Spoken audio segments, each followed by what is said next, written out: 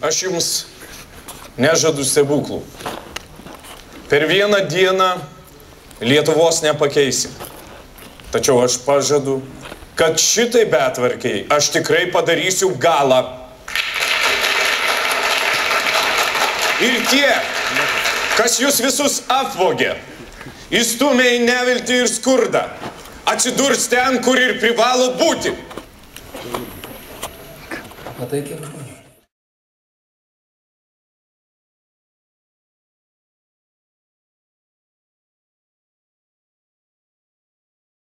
Visur kalba beveik tą patį. Pas mus tik neteina. O todėl, kad aš negaliu, taip kaip jis, atsistoti ir šaukti, išrinkit mane prezidentu, tai aš juos visus susodinsiu. Todėl, kad tu Seimo pirmininkas.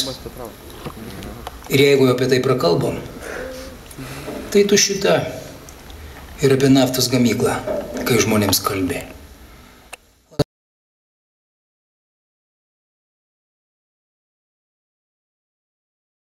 Dos neperlenka. Tai kad visi mūsų konkurentai tik apie tai ir šaukia. Nafta, nafta, amžiaus afera. O tu siūlai man ir čia tylėti. Bet mūsų konkurentai naftoj nesėdi.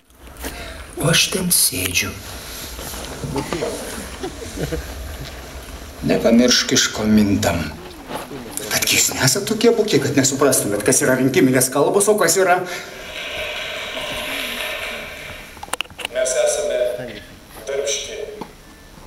drasi, savigarbos jausmą turinti tauta.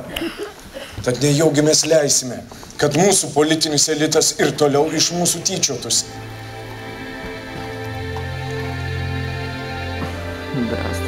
Valstybė, kokia ji bebūtų, maža didelė, ji negali tarnauti tik godaus, siauro, nepasotinamo rato interesams.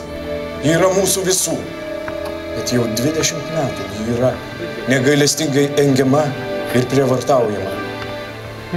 O mes stebim ir nieko negalim padaryti. Negalim ar nesiryštame. Ar mums jau pritrūko drąsos? Ar mes jau nebe lietuviai?